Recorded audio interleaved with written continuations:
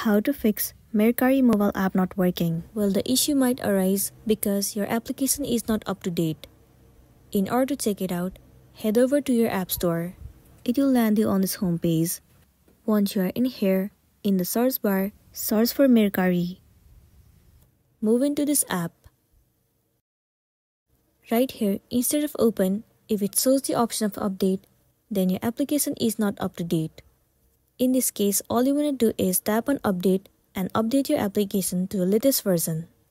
Once you have the latest version of the app, now the next step you want to do is head over to the settings of your device.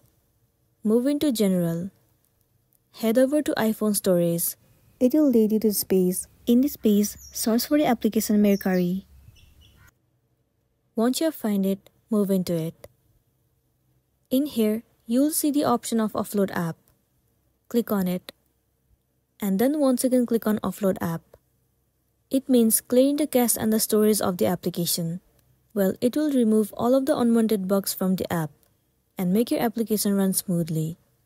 With the help of this, it might fix the issue that you have been facing. If not, you can uninstall the application and reinstall it again.